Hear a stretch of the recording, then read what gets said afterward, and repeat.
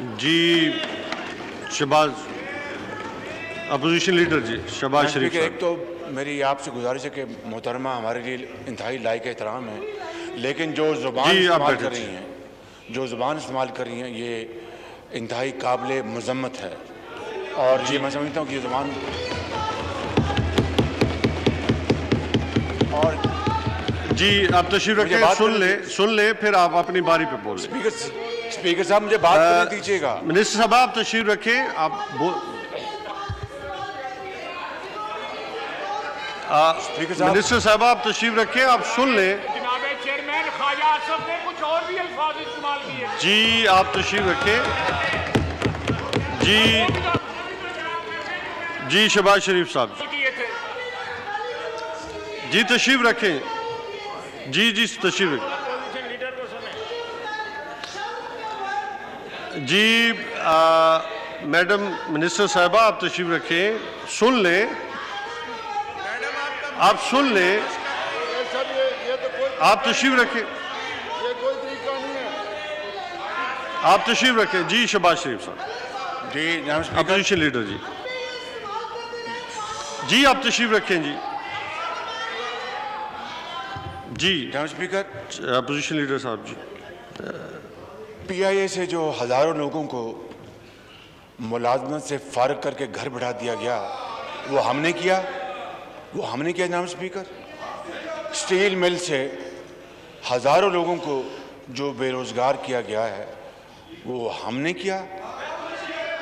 और इससे बढ़ के जनाब स्पीकर जी आप मैं किस किस महकमे का यहाँ पर ज़िक्र करूँ?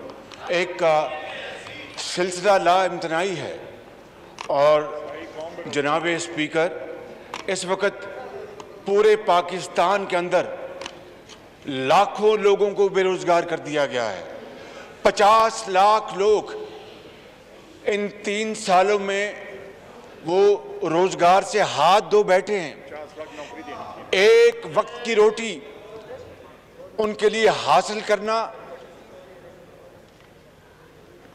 आपने कुछ फरमाया जनाब जी मैं आपको सुन रहा हूँ जी। पचास लाख लोगों को बेरोजगार कर दिया गया। ज़िंदगी उनके ऊपर तंग हो चुकी है और वो इस वक्त पर मजबूर हैं। जनाब स्पीकर कहाँ गई वो एक करोड़ नौकरियाँ? एक करोड़ नौकरियाँ। वो तो बड़ी दूर की बात है।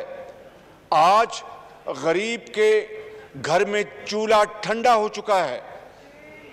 उसके एक घर का कमाऊ शख्स, माँ या वालिद, वो इस वक्त जनाब स्पीकर, वो बाहर जाकर भीख मांग कर घरों का अपना वो एक एक वक्त की रोटी को पता नहीं किस तरह पूरा करते हैं। बीमार माँ की या बेटी की दवाई कहाँ से लेके आते हैं? ये किस मुँह से ये यहाँ पर हमें ताना दे रहे हैं? आज जनाब स्पीकर, पाकिस्तान की मीशत का भट्टा बैठ चुका है। पेट्रोल को देखें, देखिए इनका जो वादा था, इलेक्शन, अब अभी बजट के ऊपर जो ऑनरेबल, जो फाइनेंस मिनिस्टर हैं, उन्होंने कहा था कि हम कोई नया टैक्स नहीं लगाएँगे। लेकिन इस वक्त जहाँ पे स्पीकर बिजली की कीमत कहाँ जा पहुँची? इस वक्त पेट्रोल की कीमत कहाँ जा पहुँची? इस वक्त तेल की कीमत कहाँ जा पहुँची? मैं यहाँ पर इस वक्त आपका ज़्यादा वक्त नहीं लेना चाहता। मैं ये कहना चाहता हूँ कि पाकिस्तान की तारीख में इससे ज़्यादा महँगी, महँगाई का तूफ़ान कभी नहीं आया। आज आसमान भी रो रहा है। इनकी हरकतों के ऊपर, इनकी बदतरीन गवर्नेंस के ऊपर।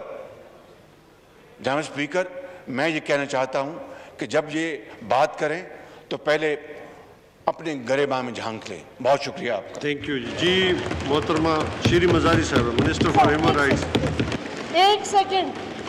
स्पीकर साहब एक सेकंड।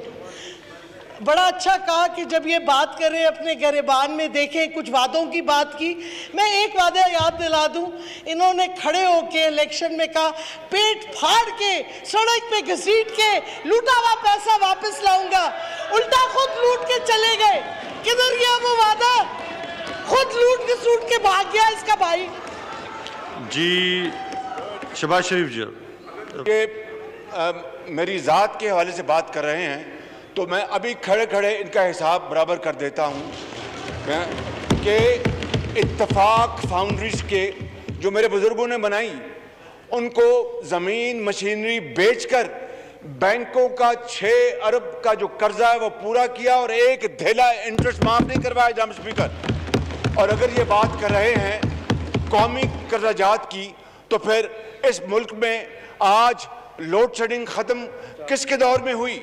जनाब स्पीकर इस मुल्क के अंदर, इस मुल्क के अंदर एलएनजी की बुनियाद पर जो पाँच हज़ार मेगावाट की बिजली के मंसूबे लगे, वो किस तरह लगे? जनाब स्पीकर इस मुल्क के अंदर जो इंफ्रास्ट्रक्चर बना है, वो किस तरह बना? इस मुल्क के अंदर जो पब्लिक ट्रांसपोर्ट के लिए जो अरबों रुपए खर्च किए गए, वो किस तरह हुआ? इन्होंने कर्जे लिए कर्जे लिए कर्जे लिए, लोगों को कर्जों से मार दिया, जकड़ दिया और तबाह कर दिया इन्होंने। एक धेरे का मनसूबा नहीं बनाया।